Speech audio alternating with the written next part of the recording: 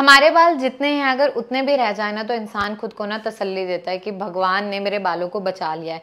लेकिन जब भी वो बाल धोता है और इतने इतने गुच्छे दिखते हैं ना तो इंसान डिप्रेशन में जाना स्टार्ट हो जाता है। Hello everyone welcome to Upasana की दुनिया। कैसे हो आप सब? उम्मीद करती हूँ सब बहुत अच्छे हैं, सबकी लाइफ बहुत अमेजिंग चल रही है। प्लीज़ रिक्वेस्ट है, अगर चैनल पे नए हैं, अभी चैनल को सब्सक्राइब कर दीजिए। प्लीज़ स्टार्टिंग में ही वीडियो को लाइक कर दीजिए। क्योंकि मैं बहुत मेहनत कर रही हूँ अच्छी अच्छी रेमेडीज़ लाने की, लेकिन चैनल की एंगेजमेंट बहुत कम हो गई है। प्लीज़ वीडियो को लाइक करिए ताकि हम दोबारा से उस रीच तक पहुँच सकें। आपको फ़ायदा हो रहा है तो यार दस लोगों को और हो जाए, इससे बेहतर क्या चीज़ होगी? एक्सप्लेन करने से पहले हम फ़र्स्ट स्टेप कर लेते हैं रेमेडी का, उसे टाइम लगेगा, तब तक मैं आपको जो है पूरी आउटलाइन ब्रीफ कर दूँगी। सबसे पहले मुझे चाहिए अनियन ठीक है? लेकिन आज पहले मैं इस्तेमाल करने वाली हूँ इसका छिलका, जो कि यहाँ पे मैंने एक पैन लिया है, इसमें मैंने ऑलरेडी पानी को बॉईल कर लिया था, ठीक है?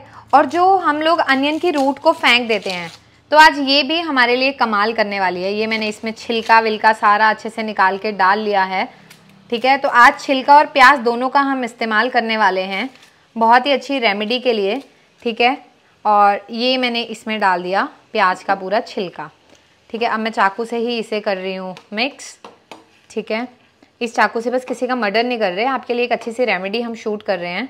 अब मैं वेट करूँगी इसका बॉयल होने का, क्योंकि ये हमारा इस रेमेडी का फ़र्स्ट स्टेप चलिए, अब स्टार्ट करते हैं आगे का प्रोसेस जब भी हम प्याज को काटने लगते हैं ना, उसमें एक बहुत तीक्ष्ण सी स्मेल आती है, जो आँखों में लगती है सल्फ़र की वजह से. बालों के लिए वो बहुत अच्छा काम करता है, बालों की रीग्रोथ के लिए. इसलिए देखा, कुछ टाइम से मार्केट में बहुत ज़्यादा ट्रेंड आ गया. Onion toner onion shampoo onion oil कुछ लोगों पे बहुत अच्छा रिज़ल्ट आया, कुछ पे नहीं आया. तो आज की रेमेडी इसी के रिलेटेड है, लेकिन जब भी आप इस रेमेडी को परफॉर्म करेंगे ना, आप पहले लगा के देखना, कुछ लोगों के सर में ना सल्फ़र की इरिटेशन होती है। तो प्लीज़ आप लोग इस रेमेडी को अवॉइड करना, पहले एक बार करके देखना और रिज़ल्ट आपको बहुत अमेजिंग मिलेगा, अगर आपके बालों को ये रेमेडी सूट कर जाती है। बेचारी वो लेडीज़ जो बहुत परेशान है, उनके यहाँ से बाल उड़ गए, पूरे गंजे हो गए। लड़के यहाँ से बाल जा रहे हैं, यहाँ से जा रहे हैं, यहाँ पे गंजापन आ रहा है। अलग ही लेवल चल रहा है भाई, सारे प्रोडक्ट कर लिए। अब तो ऐसा लग रहा है हेयर ट्रांसप्लांट कराना पड़ेगा। पहले तो सुनने में आता था कि लेडीज़ को ये दिक्कत कभी कभार होती है। अब तो ऐसे हो गया टेनिया इन्फेक्शन इतना कॉमन हो गया, यहाँ से पैच आ रहा है, यहाँ से पैच आ रहा है और फीमेल्स बहुत ज़्यादा परेशान है। तो ये रेमेडी है उन सब के लिए। तो चलिए स्टार्ट करते हैं फ़र्स्ट स्टेप कर लिया तो जो हमारा सेकेंड स्टेप है, वो क्या है? हमें जो है अनियन चाहिए। ठीक है, ये मैंने प्याज ले लिया। ठीक है, इसके मैंने छोटे छोटे टुकड़े करके इसमें डाल दिए। इस तरह से। ठीक है और मुझे इसको करना है कम्प्लीटली ग्राइंड ये हमारा है सेकेंड स्टेप ये डाल दिया मैंने प्याज, ठीक है? अब मैंने इसको लगाया मिक्सी पे तो आप लोग देख रहे हैं कि पूरा पानी जो है उसका कलर चेंज होना स्टार्ट हो गया है। तो एक तरह से हमारा टोनर बन रहा है जो हमारे हेयर पे काम करने वाला है। तो इसे आपको जो है इस तरह से बीच बीच में हिलाते रहना है। ठीक है? और अच्छे से बॉईल करना है। जब तक आपको ये ना लगे कि बस 20-30 एम पानी रह गया, उतना हमारे लिए सफिशेंट है। तो आप देख लीजिए, प्याज के छिलके जो हैं, आज आपके लिए जादुई काम करने वाले हैं। ये हमारा पानी बॉईल कर रहा है। तब तक हम क्या करने वाले हैं? तो ये प्याज का पेस्ट बन गया है। अब क्या करेंगे? इस पेस्ट को हम निकाल लेंगे जार में। ठीक है? जार से हम जो है, इसे निकालेंगे कटोरी में। कटोरी में क्या? आपको जो है एक प्लेन कपड़ा लेना है इस तरह से, ठीक है?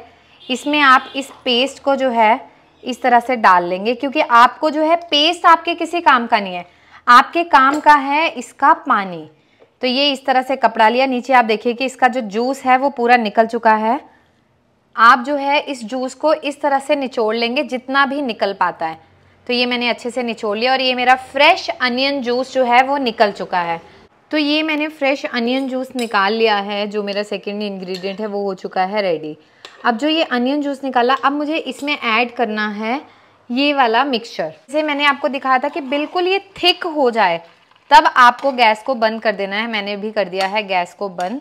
और ये काफ़ी थिक हो गया है इसकी कंसिस्टेंसी और आप देखेंगे कि मैंने इतना पानी डाला था ऑलमोस्ट वन फोर्थ रह गया, जैसे हम आयुर्वेदा में काढ़ा बनाते हैं। जो आपने अनियन जूस बनाया, अब मैं इसमें ये वाला मिक्सचर कर दूँगी ऐड जो मैंने ये वाला पानी इसका निकाला।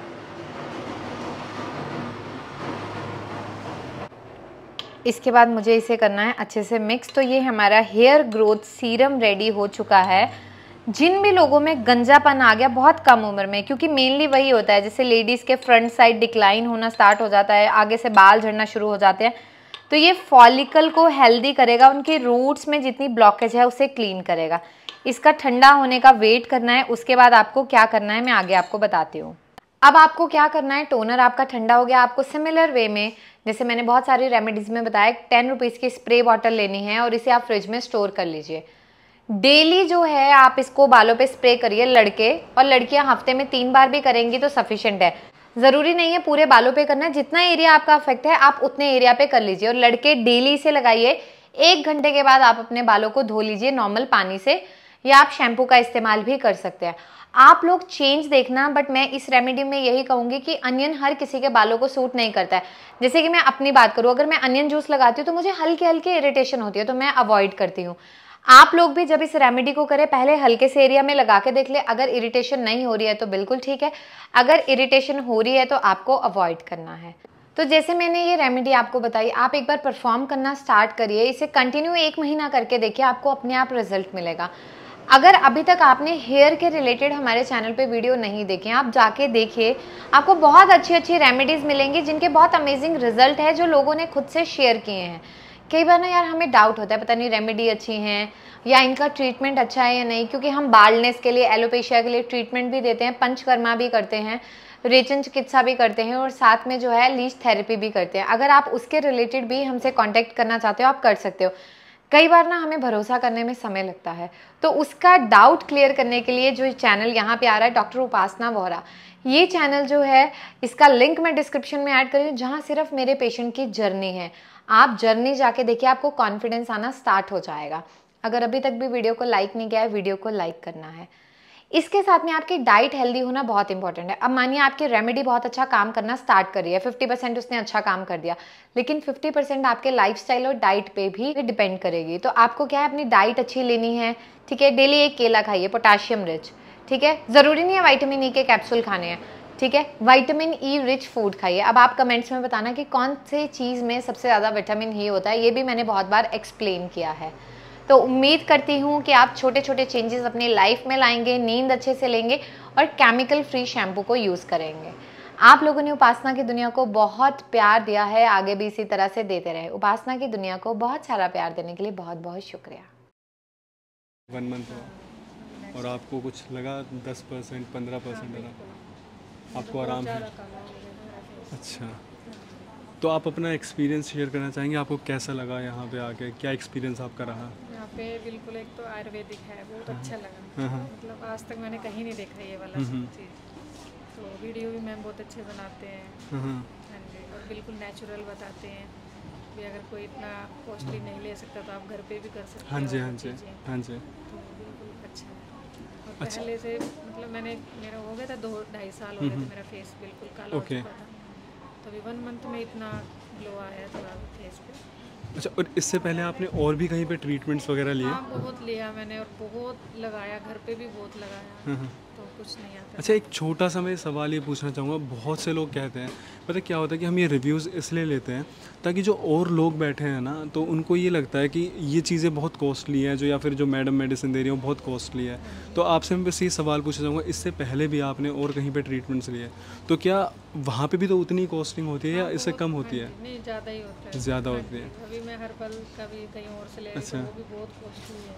अच्छा। उससे तो मेरा फेस और ख़राब ही हो गया था। अच्छा लेकिन यहाँ पे आपको रिलीफ है। वन मंथ में ही थोड़ा सा चमक आया फेस ठीक है। और जो ब्लैक पैचेस थे बहुत ज़्यादा थे लाइट हाँ, हाँ। हो गए अच्छा एक आस पड़ोस में सब बोलते हैं कि लाइट हो गया है। चलिए ठीक है ये तो बहुत अच्छी बात है। अच्छा एक और चीज़ ये कि बहुत से लोगों के मन में ये सवाल होता है कि जो आयुर्वेदा है वो स्लो वर्क करता है। एज़ कंपेयर टू जो एलोपैथी होती है जो हमारी अंग्रेज़ी दवाइयाँ होती हैं। बट स्लो करता है पर अच्छा होता है हमारी बॉडी के लिए ना। हाँ। जो वो अंग्रेज़ी खाते हैं वो एकदम अच्छा वो अच्छा लाता है जो हमारी बॉडी के अंदर ऑर्गन्स होते हैं उनको लेकिन वो जब आपने कोई अंग्रेज़ी दवाई खाई तो आपने नोटिस किया होगा जैसे आपको वो ठीक हुआ तो लेकिन उसके बाद वो थोड़े टाइम हाँ, के लिए ठीक हुआ हाँ फिर उसके बाद दोबारा बढ़ हाँ, गया। लेकिन यहाँ पे कोई आपको थोड़ा सा भी साइड इफ़ेक्ट वगैरह कुछ भी? और जो स्टाफ है डॉक्टर उपासना वोहरा का वेद आयुर्वेद का अच्छी है उनका फेस उनका बहुत सुंदर है। क्योंकि मतलब ऑलरेडी ना उनके फेस को देख के सब आते हैं कि अगर हाँ जी, हाँ जी। इनका फेस खुद शाइन कर रहा है तो हमारा भी करेगा चलिए ठीक है ऐसे ही आप ट्रस्ट रखिए। स्पेशल मिलने आया है कहते हैं यूट्यूब पे मैम को देखा है मैंने मैं मिल के आऊँगा चलिए ठीक है मिलिए? हाँ चलिए ठीक है थैंक यू बहुत अच्छा बनाया आपने ना हाँ जी। बहुत अच्छा लगा। थैंक यू हाँ, थैंक यू मैंने नहीं देखा ठीक है।